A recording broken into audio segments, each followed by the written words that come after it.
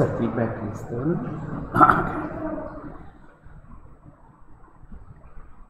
Good morning, dear students. Today we have uh, come to, uh, to discuss about the topic which is called otosclerosis. Now, before we go into the subject proper, I want you to revise the basic anatomy of the ear, the external ear, uh, the middle ear, and the inner ear.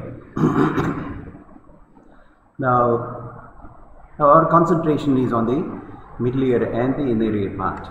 And as you know, the middle ear cavity uh, consists of these uh, three bones the malleus, the incus, and the stapes. And stapes is the bone which covers the whole window and it opens into the scala vestibuli. There are three chambers in the inner ear the scala vestibuli, scala media, and scala tympani. Okay? So the whole window opens into the whole uh, uh, the whole window when the foot plate of the stapes vibrates.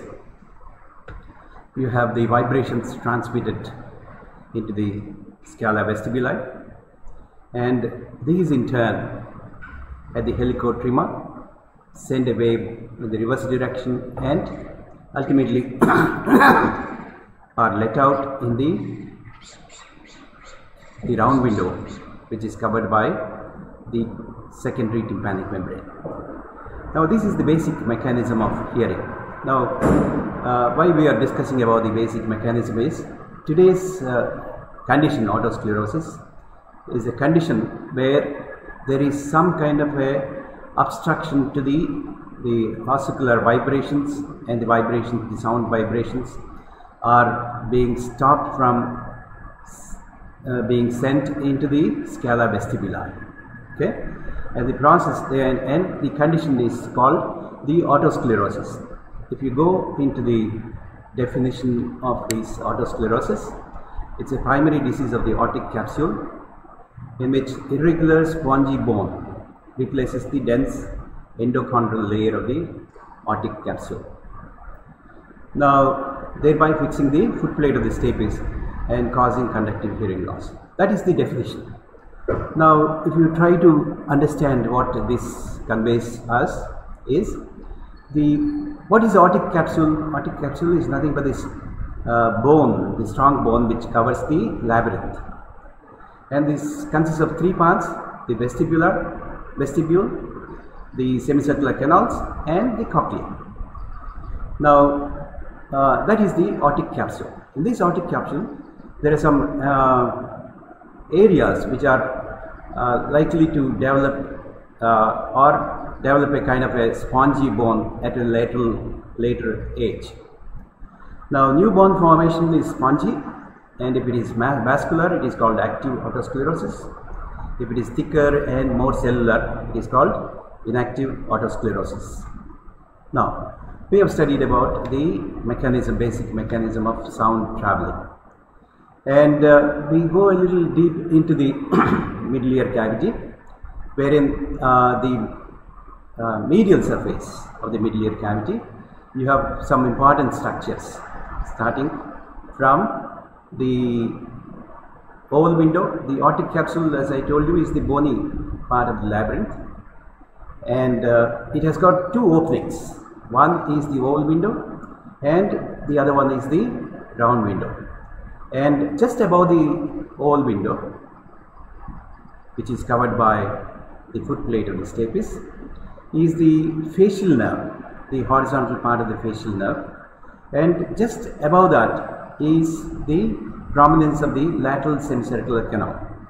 And as we know, the most bulging part of the medial wall of the middle ear cavity is the uh, promontory.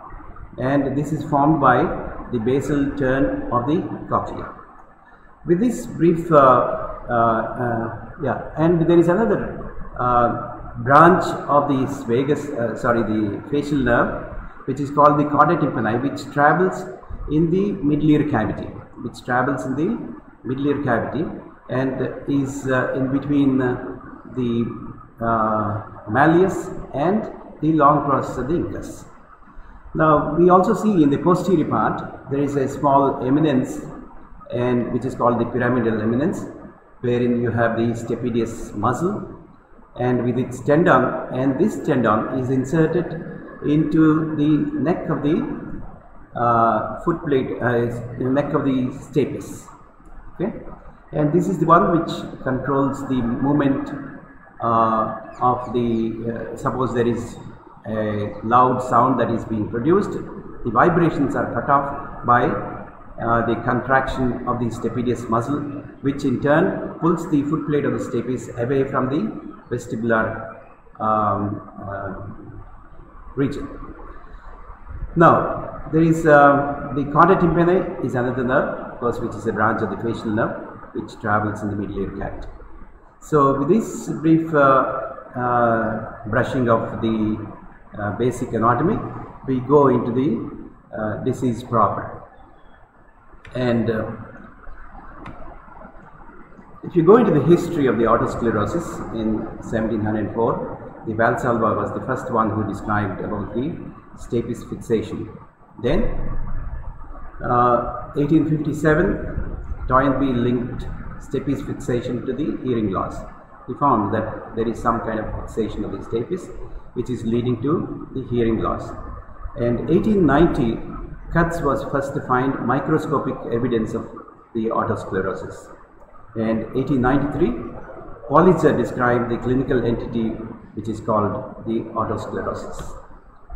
Now, when we go into the etiological factors, uh, the exact etiology is not known, which is called idiopathic. As I told you, the remnants of the embryonic cartilage resting in the otic capsule, otic capsule uh, become active, and that may be one of the causes. Then you have the heredity, uh, which runs in families, and it is by the autosomal dominant. And third one is the hormonal. Uh, it is influenced by the hormones, and uh, during pregnancy there is and menopause there is a increased activity of this otosclerotic focus. Then you have these uh, syndromes, uh, Van der Hoeve's syndrome, wherein osteogenesis imperfecta, the otosclerosis and Blue sclera. And uh, then you have the uh, conditions associated with Paget's disease. Both these osteogenesis uh, imperfecta and the Paget's disease, there is a newborn formation which is not very strong and it breaks. People have repeated uh, fractures. Now, there is another theory which is called the enzymatic theory, wherein there is imbalance in the trypsin and antitrypsin in the inner fluids, which initiates the process of the otosclerosis. Then there are some uh, metabolic and immune disorders, and then you have the anatomical and histological anomalies of the temporal bone. The otic capsule, as you know, is a part of the, it's em- embedded in the uh, temporal bone. Now, recently there is a kind of a relationship that has been established uh, uh, between the measles virus and the development of otosclerosis because they found the uh, immunoglobulins IgG uh, uh, and against the measles that have been uh, detected in the uh, inner ear fluids. Now, coming to the incidence, it's about 0.5 to 1 percent of the total population. The females to male ratio is 2 is to 1, and usually it affects the age group or it manifests in the age group 20 to 40 years, and it's common in some of the races like the white races, common in India, and it's low in Chinese and Japanese. Usually, it's a bilateral disease. Now, we'll try to see what exactly are the different types of otosclerosis. Now, otosclerosis is usually classified into these uh, types. First one is the stapedial otosclerosis, wherein the foot plate of the stapes is the one uh, is affected. Second one is the cochlear otosclerosis, where there is a new spongy bone formation along the along the vestibule into the inner ear via the oval window through the oval window. And third one is the malignant otosclerosis, wherein you have the uh, otosclerotic focus, uh, sensory neural deafness, which rapidly progresses and damages the entire ear. Uh, then you have the combined, that is the stapedial and cochlear otosclerosis. And you have another condition which is called the histological otosclerosis, wherein the histological otosclerosis you have um, the histologically you will be able to identify, but there is no clinical manifestation. Now let us go back into the stapedial otosclerosis wherein there are certain areas in the oval window, around the oval window, which is called, uh, uh, and if we go into the small anatomy, brushing of the anatomy, the uh, stapes has got the head, the neck, and the anterior and posterior crura, and you have the stapes footplate. These are the components of the stapes. Now, there are certain areas which are prone to the otosclerotic focus. One is the anterior uh, uh, anterior focus, as you see in the diagram. One is the posterior focus. The third one is the circumferential all around, and the uh, fourth one is the the biscuit type, where the entire footplate of the stapes becomes thick, and uh, another condition which is wherein type wherein there is a complete obliteration of the entire footplate of the stapes also encroaching onto the crura of the foot uh, the stapes. So these are the types that are described as far as the stapedial otosclerosis is concerned. Then we go to the cochlear otosclerosis wherein it involves the region of round window and then proceeds into the labyrinth through the uh, the oval window. And here there may, may not be abscess, uh, the abscess, uh, there is absence of stapes fixation and the sensory neural hearing loss is due to the liberation of toxic material from the abnormal bone into the ear. So there is a sensory neural deafness in a cochlear otosclerosis. As we earlier said, the malignant otosclerosis is a severe type wherein it starts early in life and progresses very rapidly and you have the other the combined mixed hearing loss wherein you have the mixed that is the uh, stapedial as well as the uh, the cochlear otosclerosis then as I said the histological otosclerosis which is usually 9 to 12 percent of the cases where there are no clinical features but histologically the focus is present. This is being detected, detected uh, the post-mortem okay? Then we go to the pathology, what really happens in the bone. A grossly, it appears as a chalky white gross picture is the uh, chalky white yellow focus or red in color due to increased vascularity if it is active. The microscopically, in immature, that is the active focus, there are numerous marrow and vascular spaces with plenty of osteoblasts and osteoclasts which stain the blue on uh, hematoxylin eosin stain. It's called blue mantle.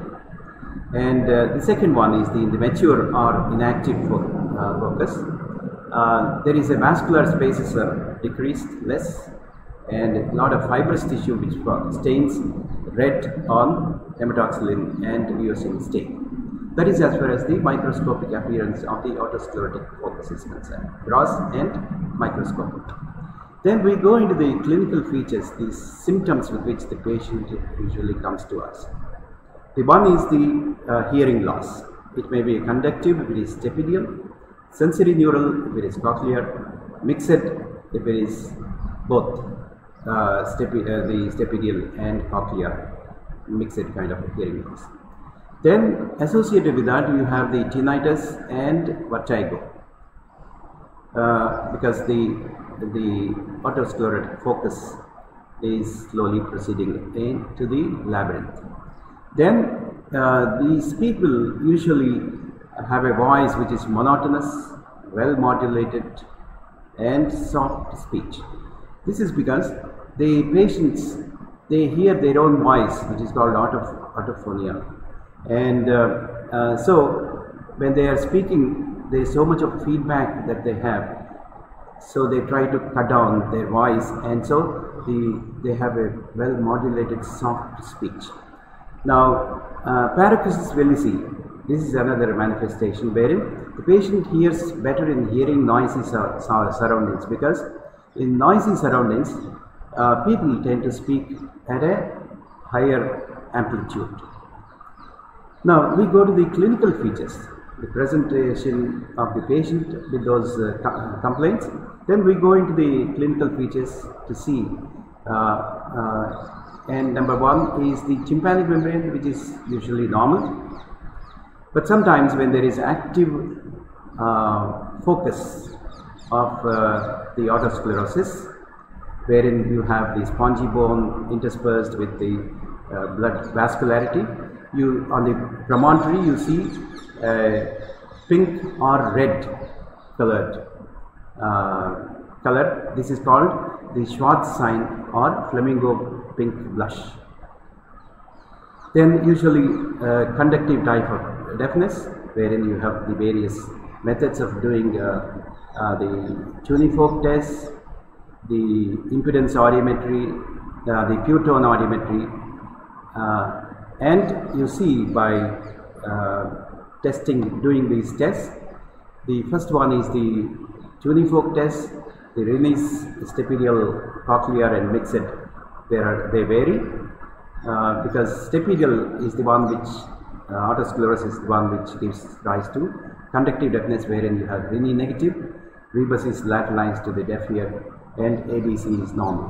Whereas in the cochlear and mixed, it lateralized, it is positive, and uh, uh, in the cochlear, whereas in the mixed it is neg- the Rinne's is negative, and uh, then there are other tests which are uh, done uh, when you do a tuning fork tuning fork test, wherein you vibrate the tuning fork and put it on the mastoid uh, bone, and you close the external auditory meatus. This is called the Bing test. And in otosclerosis, there is no change, whereas in the normal hearing, there is a or sensory neural hearing loss, there is an intensity increases. And another test which is called the Gelle's test, wherein the external auditory canal, the tuning fork is vibrated and put it on the mastoid bone, and the external auditory uh, canal is uh, the, the increase in the pressure increased pressure is increased by doing a procedure called Siegelization. And in this, the Gelle's test, there is no change in otosclerosis, whereas the normal or sensory neural hearing loss, the intensity decreases. Then we go to the pure tone audiometry, wherein uh, there is a uh, conductive type of deafness, and uh, the stapes fixation uh, uh, is there, and uh, there is a notch of the bone conduction which is at the 2000 hertz. It is also present in um, 500 and 1000 but to a minimal extent and to the uh, at 4000 hertz also uh, it comes comes back. Now 2000 frequency is the one which is uh, uh, called the Carhart's notch which is uh, almost diagnostic of a otosclerotic focus of the uh, stapedial uh, region. And uh, the notch, Carhart's notch is usually explained by the fixation of the uh, stapes disrupts the normal ossicular resonance. So at 2000 hertz, that is, there is the normal resonance of the uh, the ossicles. So that is being interfered, and so you have the notch uh, decreased at the 2000 hertz. Now there is another uh, explanation that is being given is the normal compression mode of the bone conduction being disturbed because of the relative perilymph immob- immobility. That is, the foot plate of the stapes is uh, totally uh, immobile. Of course, uh, the, another is the mechanical artifact, and this Carhart's notch at 2000 heads, the dip, uh, reverses itself when we do the stepi, stepi, stapedectomy or stapedotomy. Now then we go to the speech audiometry wherein the speech audiometry is normal but the only thing is speech reception threshold uh, intensity uh, is increased by uh, the amount of conductive hearing loss. Then we go to the impedance audiometer which measures the pressure changes in the middle ear cavity and uh, here we see uh, A is the normal uh, and we have this uh, uh, otosclerosis. You have uh, the As type of curve wherein the compliance is increased. Compliance in the sense it is the it is the resistance that is offered by the the by the air column that goes and vibrates the tympanic membrane and the ossicles. So there is a resistance. So that is detected by the impedance audiometry, which is called the tympanometry. then we go into the differential diagnosis, uh, wherein you have a conductive deafness, various conditions, the ossicular discontinuity, the congenital fixation stapes of stapes, the malleus head fixation, the Paget's disease and osteogenesis imperfecta, wherein there is in both these conditions there is a new bone formation which is very brittle. Then of course the various other conditions which can also give rise to conductive deafness like the middle ear fluid, the tympanosclerosis and so on. Then we go to the natural history, what really happens into the, uh, how the disease progresses. 90% of all cases are, um, are never clinically apparent. And the focus usually begins in the childhood and commonly becomes manifest in the third and fourth decades. And after clinical presentation, either there is a conductive deafness, uh, uh, the, uh, and then you have a periodic um, quiescence, and then there is activity of the spongy bone formation again, and then further deterioration, and slowly this progresses uh, in kinds of episodes. And during pregnancy, because of the hormones that are released, there is active the activity of the uh, otosclerotic focus increases, and so further worsen, worsens. Now, associated sensory neural hearing loss also occurs if the otosclerotic focus goes into the cochlear um, spaces. Then we go to the uh, treatment of uh, the otosclerosis. There are the mainstay is the sodium fluoride tablet, which is uh, 20 milligrams and which is usually given uh, once or sometimes uh, it is given twice a day 20 milligrams for 3 to 3 months to 2 years.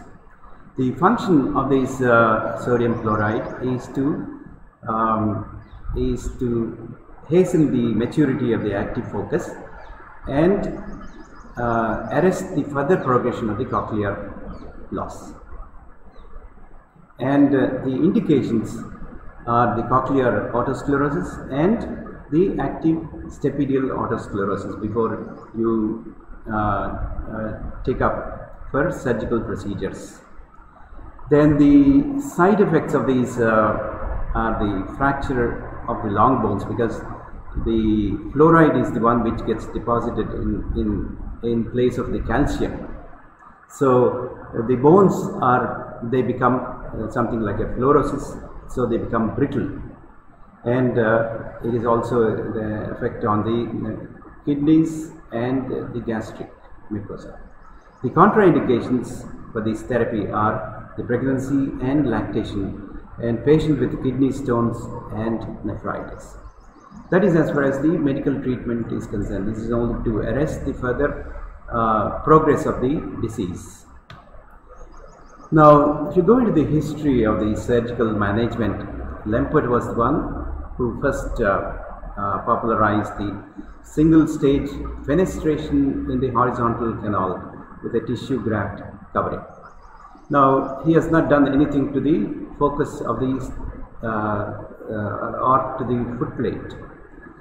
So he has bypassed that, and the the as you as we have seen, the, in the editors you have the the horizontal semicircular canal. So he has made a fenestration, and that is covered by tissue graft. Uh, and in such cases, they found that the complete closure of the AB uh, the AB gap is not totally closed. So then it was Rosen who stabilized uh, the uh, mobilized the stapes foot plate. So and he mobilized the stapes foot plate and uh, left it at that. And uh, once the um, so the procedure was over, uh, it uh, the problem was the there was improved hearing at the time of the mobilization, but there is the problem was it got refixed again. Then it was Shea who in 1956 first performed the stapedectomy operation and uh, has uh, the whole window is covered by the, the entire stapes foot plate is removed. The whole window is covered by vein graft and a prosthesis is uh, placed between the incus to the whole window. Then we have uh, Shea is uh, modified in 1962 uh, instead of taking out the entire foot plate of the stapes said we'll do a operation wherein there is a perforation that is fenestra that is made in the uh, stapes foot plate and through which the process is uh, inserted. And later there were some problems because of the mechanical uh, instruments that are being used in order to make a perforation into the foot plate of the stapes. Laser stapedotomy has become popular by, uh, which has been popularized by Perkins and Di Bartolomeo in 1980. Now, the stapedectomy is the one wherein you have to uh, follow certain criteria before you take them up for surgery. Now, Q2 on average uh, should be between 30 and 60 decibels, and air-bone gap has to be 20 decibels. That is the uh, air-bone gap.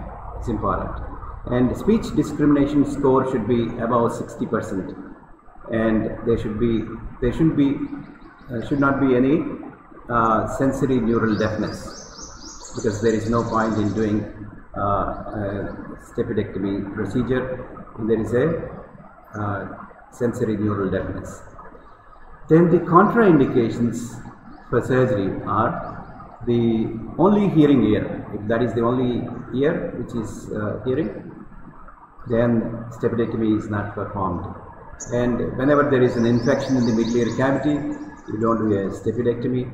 The extremes of age, younger than maybe 10 years, and older than 70 years. The Meniere's disease is another contraindication. Otitis externa because we don't want the infection to go from the external uh, ear into the middle ear cavity and infect the uh, stapedectomy site. And pregnancy because there is activity of uh, otosclerotic focus during the time. And uh, it should not be done in professionals who are divers the scuba diving, that. And uh, the high construction workers, uh, people who uh, go to high altitudes, and frequent travelers, air particularly, air travelers, and people who are exposed to loud sounds. These are the contraindications of a stapedectomy. the surgical procedures that are being done uh, are summarized in this um, uh, small um, slide presentation wherein initially you make a uh, incision in the external auditory meatal skin about 6 millimeters from the tympanic annulus and then elevate the flap tympanomeatal flap and uh, ultimately go to the tympanic uh, annulus elevate the annulus from the sulcus. Then you will be seeing the chorda tympani and which is pushed to one side. Then you have you will see the incudostapedial joint. If you are not able to see the incudostapedial joint, you may have to remove a part of the posterior part of the uh, external artery uh, meatal canal so that the visualization of the incudostapedial joint is clear. Then once you have the uh, visualization uh, of this incudostapedial joint, uh, you will also see the uh, tendon of the uh, stapes okay? Uh, and stapedial tendon which is uh, divided and uh, you slowly dislocate the incudostapedial joint incudostapedial joint and uh, you uh, drill out the anterior and posterior crura make them thin and then remove the suprastructure stapes suprastructure. Then only the foot plate of the stapes is visible. And into this foot plate of the stapes on that you place a vein graft. And uh, uh, then a process is placed uh, connecting the uh, long process of the incus and the uh, the scala vestibuli. And uh, then you go into the uh, the complications that are described. Intraoperative complications are the floating the foot plate. That is when you are trying to pierce the or take out the foot plate of the stapes. Uh, it sometimes slips into the into the scala vestibuli and uh, sometimes in the procedure you may dislocate the incus. And uh, when you are raising the tympanomeatal flap there may be rupture of this uh, tympanic membrane.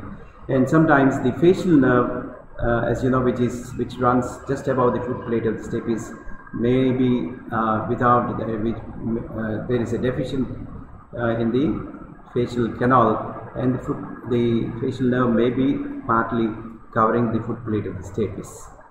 Uh, so uh, that has to be taken care. And the chorda tympani is the nerve facial nerve uh, branch which runs in the middle ear cavity has to be taken care then you have the uh, persistent stapedial, artery uh, which which runs on the foot plate of the stapes uh, branch from the middle meningeal artery uh, which sometimes when uh, uh, injured can give rise to a kind of a bleeding which will disturb the surgeon. Now then you have uh, once you make an opening into the foot plate of the stapes the perilymph this is vestibuli uh, the perilymph sometimes is under pressure and so there is flooding of the perilymph perilymphatic which is called perilymphatic gusher and uh, which can sometimes give rise to a complete dead ear. The postoperative complications are the, the otitis media, uh, uh, which are the infections which are common with any surgical procedure. The oval window granuloma, there is some kind of an infection there and then a granuloma forms. And sometimes the perilymph fistula, the fistula that is uh, when the foot plate of the stapes is removed, the perilymph starts slowly leaking into the middle ear cavity. Then you have the sensory neural hearing loss, as I told you, because the perilymph uh, gusher, the entire scala media becomes scala vestibuli becomes empty, and so that gives rise to a sensory neural hearing loss. Persistent air-bone gap. Uh, because of either failure to place the processes the processes properly or sometimes during the, when you are uh, replacing the tympanic membrane the process has been displaced then uh, the vestibular dysfunction because the inner ear fluids the infection can spread and gives rise to the vestibular dysfunction. And delayed facial palsy in laser surgery where sometimes the uh, the damage the, can uh, give rise to a facial palsy. Then those people who are unfit for surgery wherein we have already, already mentioned, and who refuse surgery. The modality of treatment is by hearing aid. I'll try to show you a small clip of uh, uh, the procedure of uh, the stapedectomy. Uh, this is an animation that is yeah. So this is the tympanic membrane. You see the malleus, the incus, and the stapes, and the white one is the otosclerotic focus. Now you that is the tympanic membrane uh, movement is being converted is being transmitted, but it's not able to vibrate the stapes foot plate because that is ankylosed.